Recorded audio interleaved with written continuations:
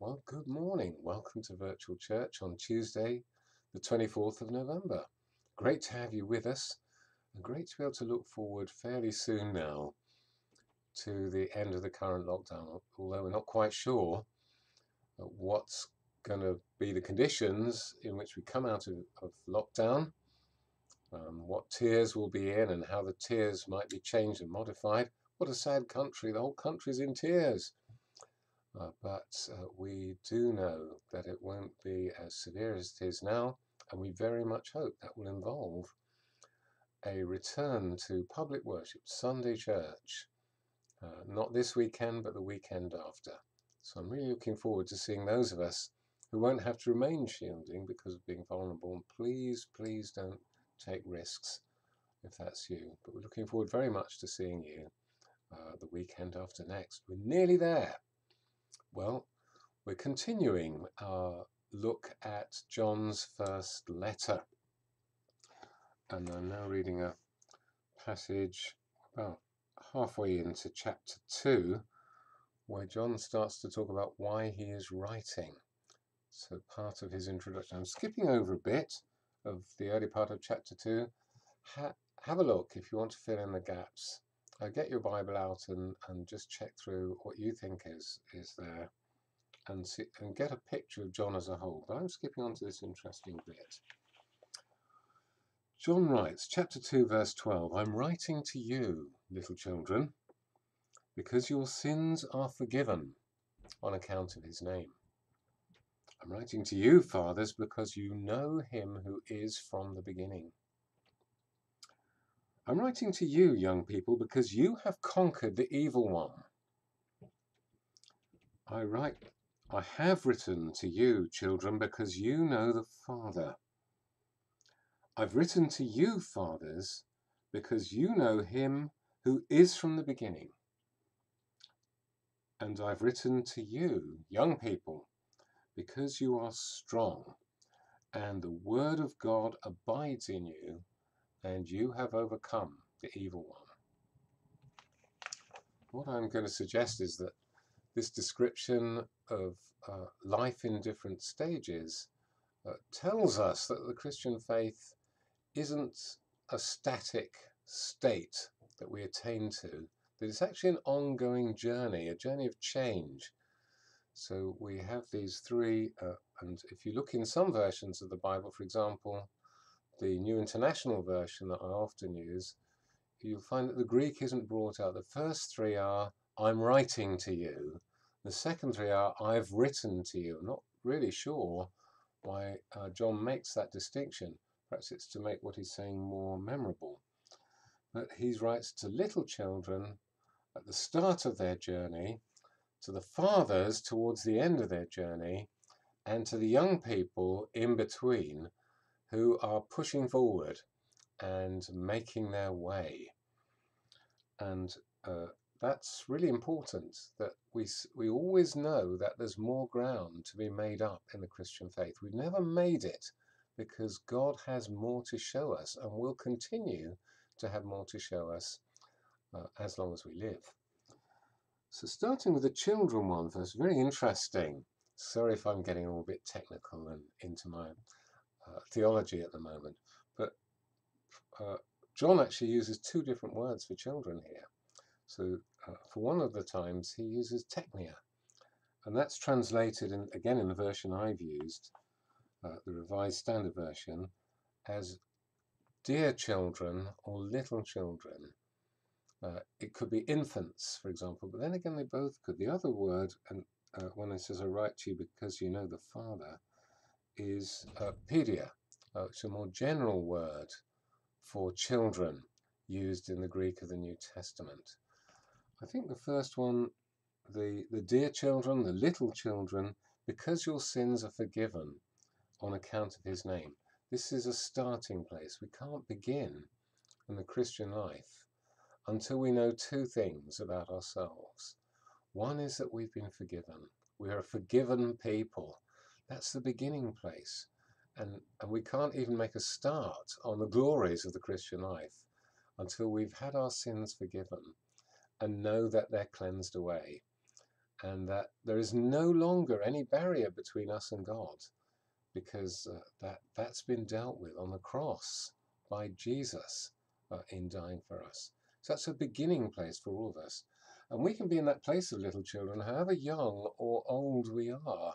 It's not actually really about age at this point. It, it might be, we might come into uh, the Christian faith at a very late age. And uh, isn't it great to still be God's dearly beloved little children, uh, whatever age we are? Um, I mean, somebody I know actually came into the Christian faith at the age of 83. And it was wonderful to see them taking this step and uh, finding the joy of it and scribbling notes in their Bible. This is all about love, isn't it? And just, just discovering what an amazing thing it is to be one of God's children. It's not about age, uh, but it's about coming to that beginning point and seeing that your life, however young or old you are, can begin all over again. And the second thing is to see that we are God's children, that God loves us and that He cares about us. It's so liberating to know that we're His children. Let's make sure that whatever else we discover during this lockdown, that we discover who we really are, that we take time to explore that as, as God's forgiven people and as God's beloved children. That's why I love that translation. I write to you, I'm writing to you Dear children, little children, my infants that I long to cuddle, uh, it's saying to us. Uh, that's who we are. Well, then, for some reason, in both of those, because it's two lots of three, isn't it? Uh, I'm writing to you, I have written to you. Uh, he writes to the fathers next. You'd have thought he'd go to the next step, but he wants to jump beyond that to the father, the fathers. Now, This could mean the old people had a special status, of course, in traditional societies and we're actually respected uh, for being older. Forgive me if I'm sounding uh, like a grumpy old person here. There's no respect these days and all that sort of thing, but it'll get to all of us one day. Uh, but it, it could mean those who have authority. So this is sometimes a way this is used uh, in, in biblical times that the fathers are those who, by their wisdom, seek to guide the church on its, on its way forward uh, as an entity because of the experience that they have to draw on and the values that they've tested in their journey through life. But uh, he says here that he's writing to them because you know him who is from the beginning.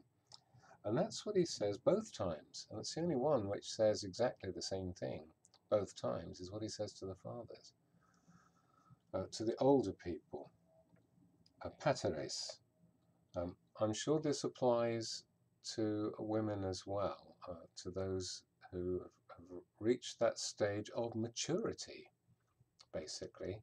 And again, it's not just talking about maturity in age, it is a spiritual maturity. You know the one who is from the beginning.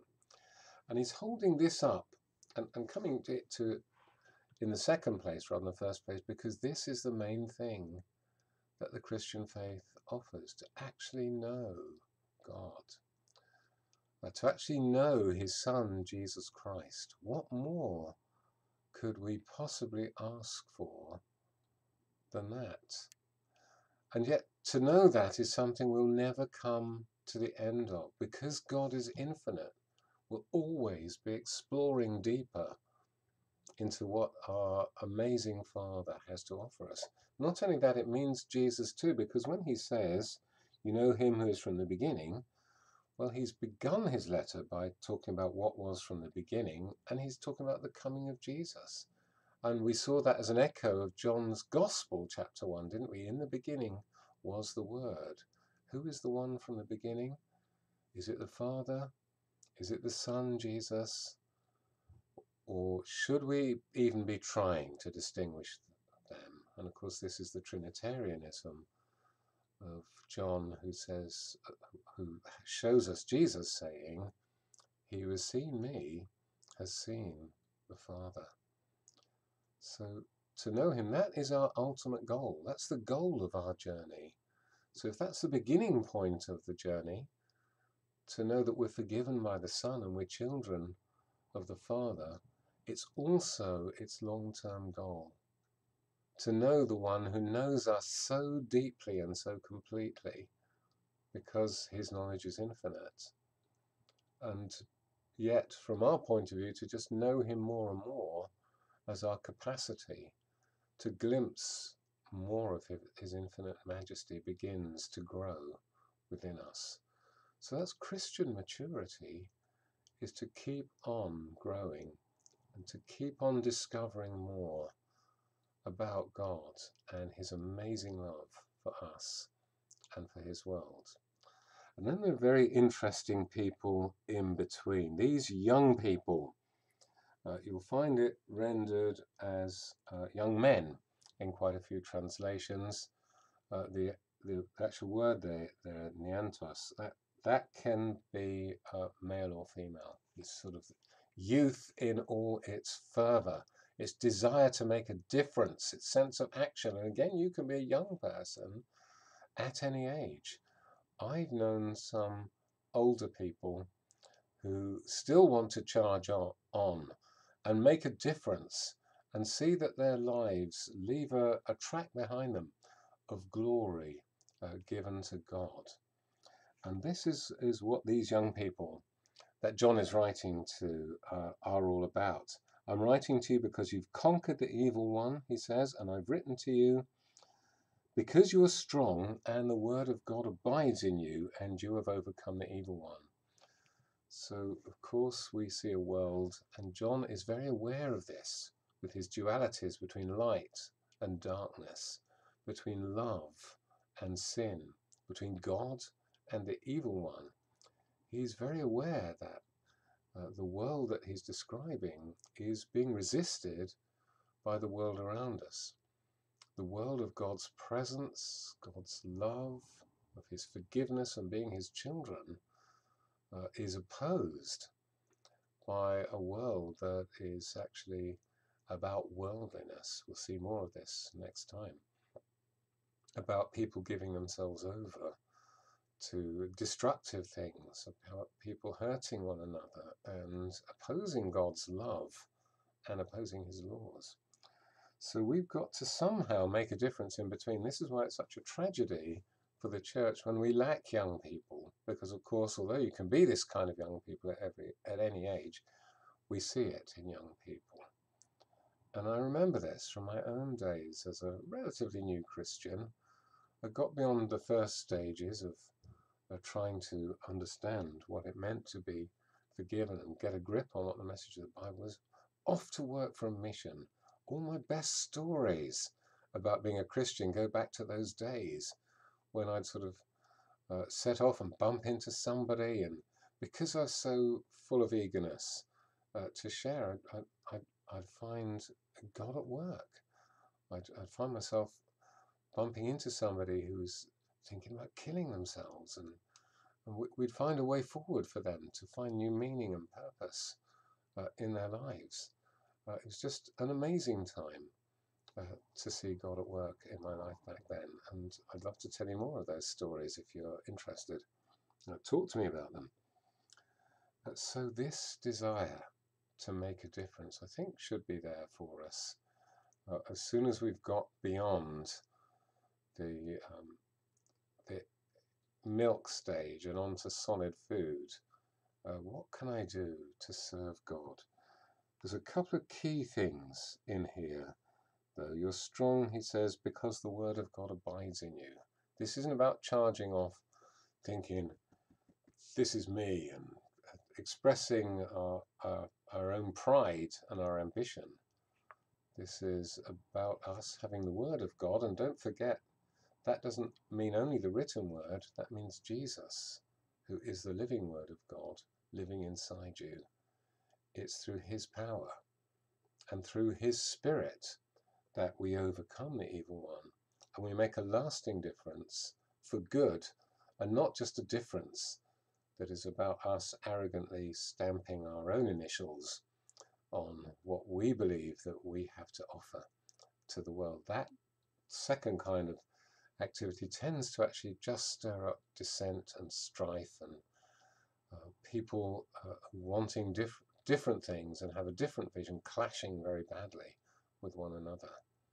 But if it comes from the Word of God, Jesus Himself living inside us, then remarkable things can happen.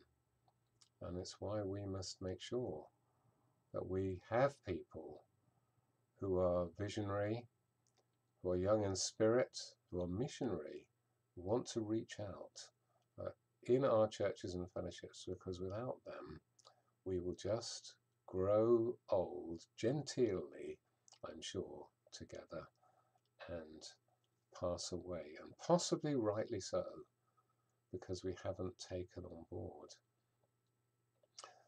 the call from God to bring light to a dark world.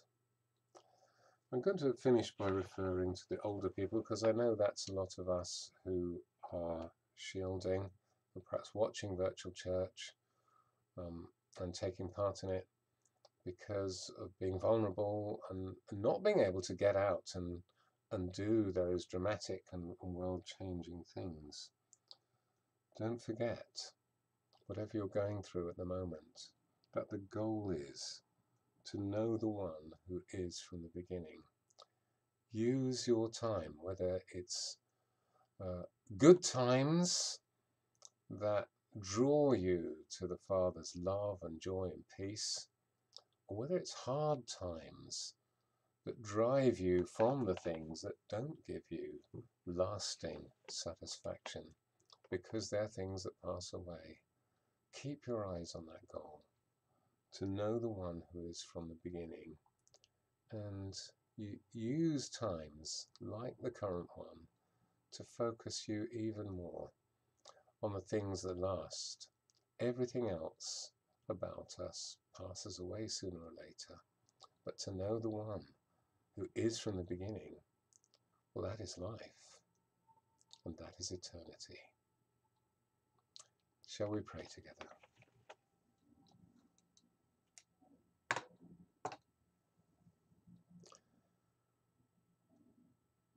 And as we pray, let's just think of our journey so far. Let's reflect back on the time when we were those dear children, however old we were at the time, or young, discovering for the first time the joy of the Christian faith, of forgiveness, of being his dear children. Let's maybe think of when we were young and vigorous and wanted to get out there and change the world and sometimes made terrible mistakes while we were doing it. But God still loved us and His word came to abide in us. Let's think of the great goal of our journey to know the one is from the beginning. And so let's give thanks for all the way that He has guided us so far along our way.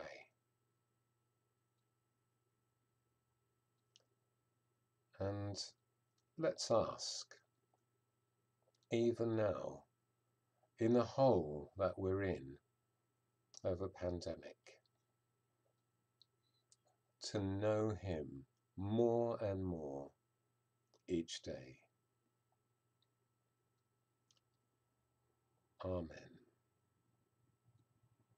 Well, thanks again for joining me on Virtual Church. God bless you, and see you again on Thursday. Bye now.